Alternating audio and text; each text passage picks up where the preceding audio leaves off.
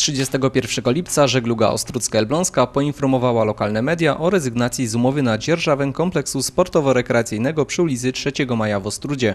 W oświadczeniu, jakie zostało przesłane przez prezesa Waldemara Graczyka, czytamy z dniem 15 września tego roku w związku z rozpoczęciem projektu mającego na celu remont i rewitalizację kanału, żegluga turystyczna po tym akwenie zostaje zamknięta na okres dwóch lat.